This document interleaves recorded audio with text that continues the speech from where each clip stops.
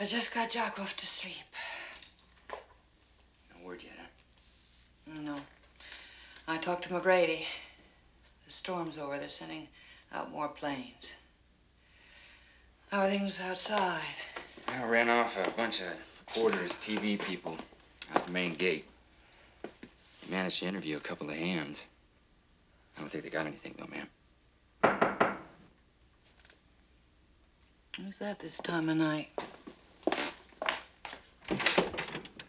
Mrs. Ewing? Who are you? Ken Jackson. I'm with the press. I called earlier. You're trespassing, mister. I'll take care of this, Ray. How did you get in here?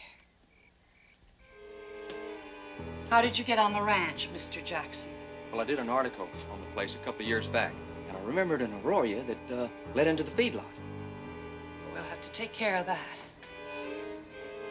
Now, exactly what do you want with me, Mr. Jackson?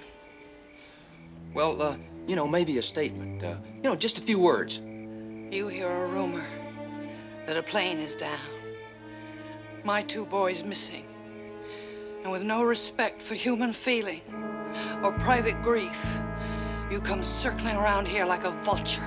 Do you know what we do to vultures out here, Mr. Jackson? Ray, get me the shotgun out of the hall closet. Yes, ma'am.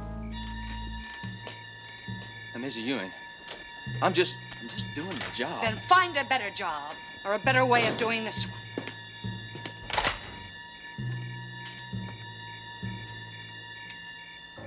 Now, Mr. Jackson, anybody on my land without invitation is a trespasser. So unless I see your tail heading out of here right now and fast, I'm gonna blow it off. Yes, ma'am. Yes, ma'am. Now ma'am. get out! Get out!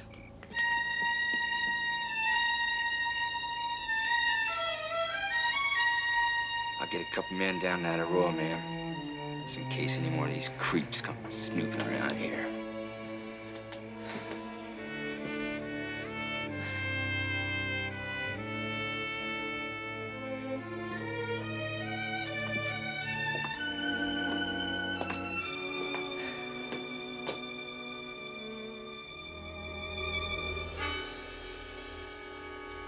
Why didn't you tell me?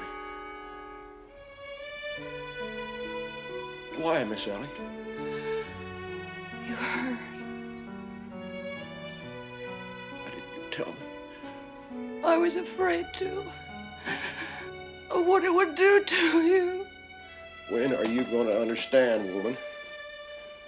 When? That I'm all right.